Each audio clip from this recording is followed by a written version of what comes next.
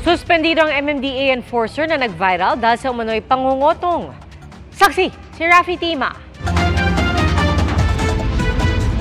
Sa mistulang police lineup na ito, sa halip ng mga kawatang suspect, mga MMDA traffic enforcers na naka-assign sa Commonwealth Avenue ang nakahilera. Ang nakaputing polo kasi, biktima raw ng pangungutong sa kahabaan ng Commonwealth Avenue noong nakaraang linggo.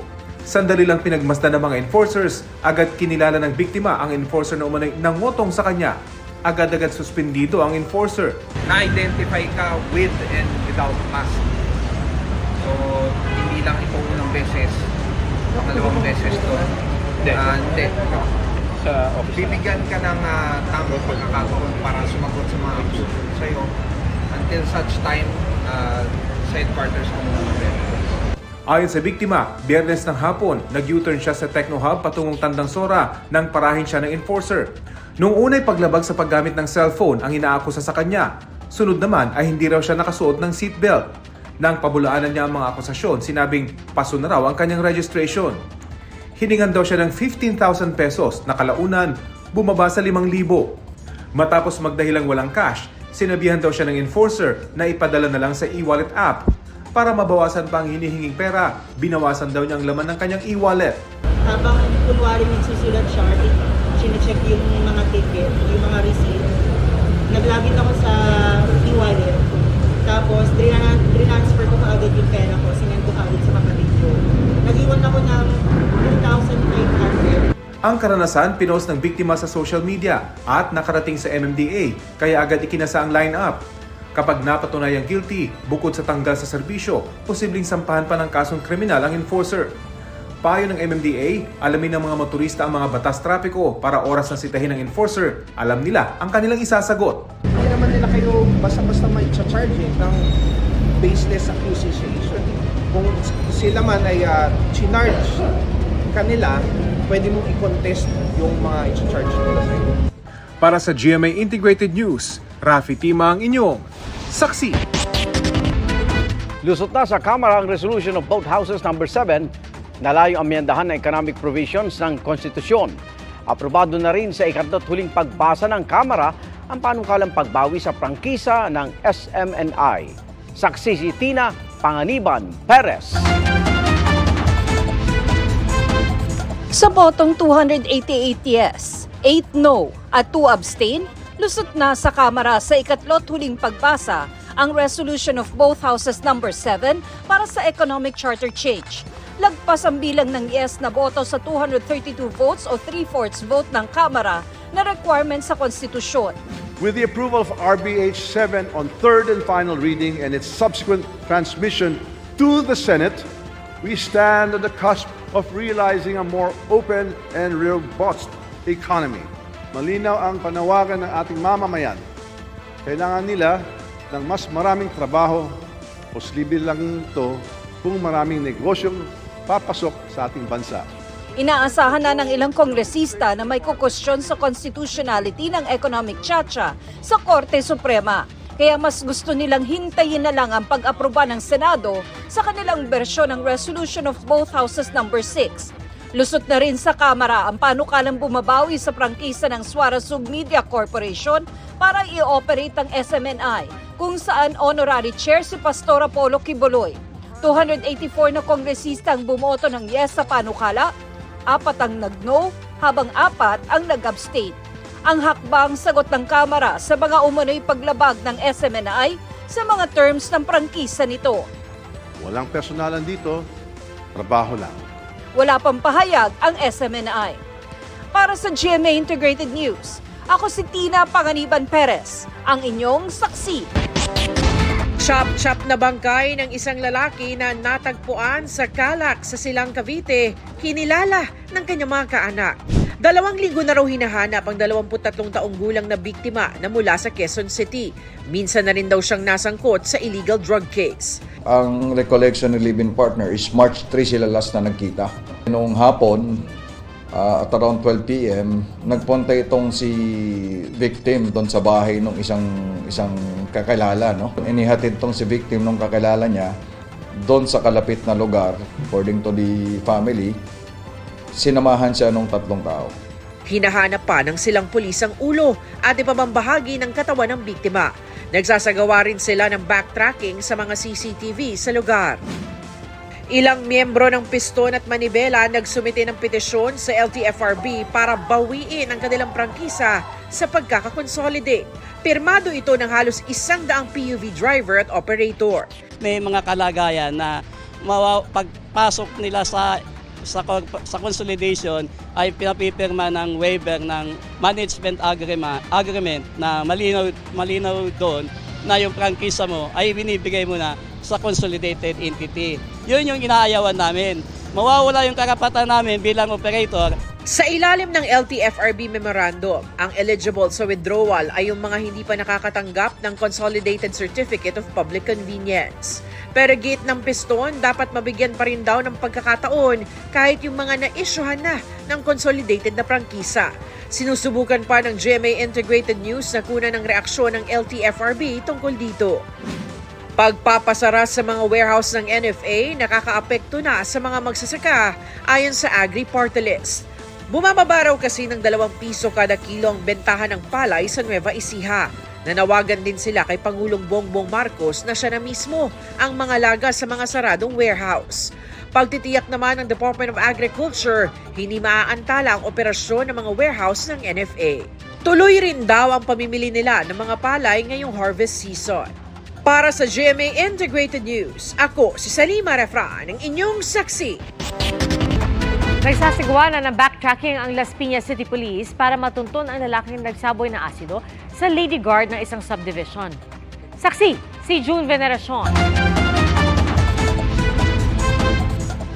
Halatang di mapakali habang may hawak na baso ang lalaking ito sa isang subdivision sa Las Piñas noong March 14. Maya-maya pa, isinaboy niya ang laman ng baso sa isang volunteer lady guard sa katumakbo palayo. Kita sa reaksyon ng babae ang sakit. Ang isinaboy kasi, asido pala. Kinilala ang biktimang si Sarah Jane San Jose. Mahapdi po yung mata ko. Bigla po siyang nag-blackout. Hindi po ako masyadong makahinga ng maayos kasi pero parang nasunog po yun sa loob ng ilong ko po. Hindi makakita ngayon ang biktima na nagpapagaling sa ospital. Kwento ni Sarah Jane, bago ang insidente, may nakasagutan siyang lalaki na labas-masok ng kanilang subdivision noong March 13. Sabi ko sa kanya, Sir, saan po tayo pupunta? Pabalik-balik po kasi tayo. Sabi niya sa akin, Sir, ba't mo ko kailangan kita eh? Taga rito lang ako. Sabi ko, kaya ka nga po namin Sir Sinita kasi hindi ka po namin kakilala. Pala eh, dyan ako nakatira bago lipat ako dyan, nangungupahan ako dyan. Ah, ganyan po ba, Sir? Sige, saan po tayo basta dyan? Nagbanta po yun, Sir, na sabi niya sa akin, mag-antay ka, babalikan kita. Hindi raw sigurado si Sarah Jane kung ito rin ang lalaking nagsaboy sa kanya ng asido. Pero patuloy nang nag-iimbestiga ang Las Piñas City Police.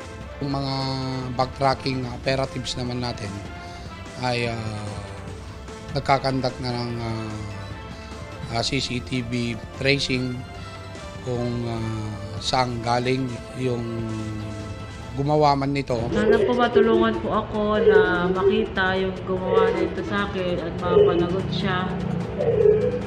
Dahil ang dami po yung penerwisyo, hindi lang po ako. Dahil ako lang po ang inaasahan ng asawa ko nagna-dialysis, tsaka lang anak kong nag-aaral pa.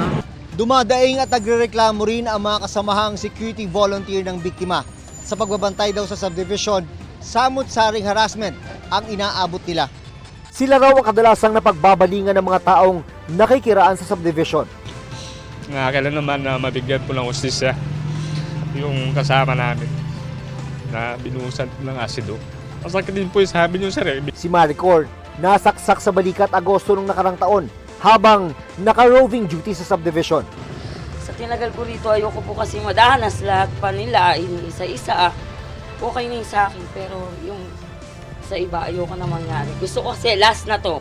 Para sa GMA Integrated News, June Veneracion ang inyong saksi.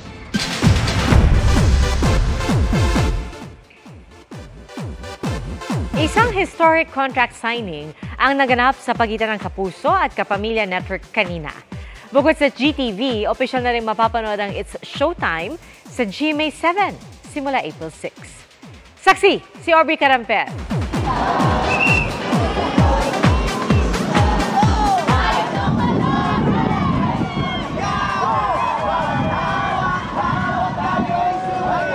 It's official mga madlang kapuso. Isa na namang historic milestone on Philippine television ang nasaksihan sa pagitan ng Kapuso at Kapamilya Network sa grand contract signing na ginanap ngayong hapon sa mismong bakura ng GMA.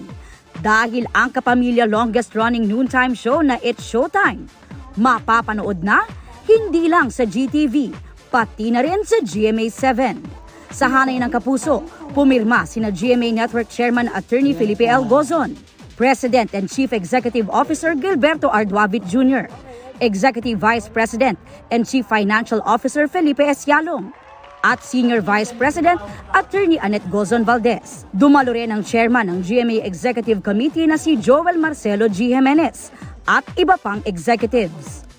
the fact that we are holding this signing here, we don't need to say anything more about your being welcome in GMA.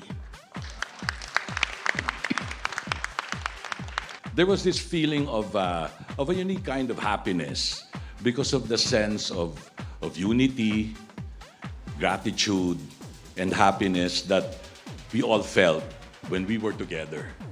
It is our pleasure. We are very proud, very happy to have it showtime on GMA. Talagang um, let's expect more and more collaborations between GMA and ABS-CBN kasi um, ipakita natin sa buong mundo yung galing ng Pilipino. Sa panig naman ng kapamilya, pumirma sina ABS-CBN Chairman Mark L. Lopez, President and Chief Executive Officer Carlo L. Katigbak, Chief Operating Officer Cory V. Vidanes, at Group Chief Financial Officer Ricardo Tan.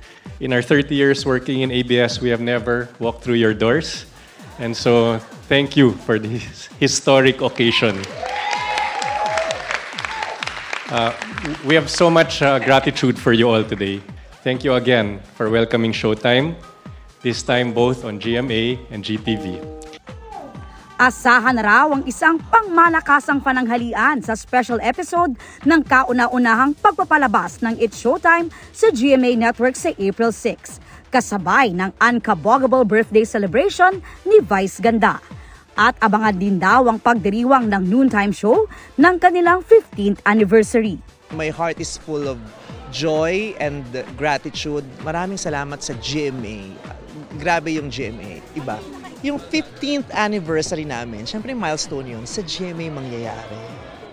Di ba kasi masaya naman lahat ng anniversaries, pero iba yung, yung, yung 10th, 15th, 20th. Ina-anticipate nila yung 15th anniversary. So ito pala yung lalong magpapalaki ng 15th anniversary. Di ba nasa GMA kami? Sobrang laki.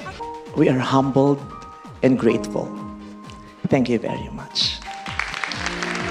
We are a family of being able to reinvent.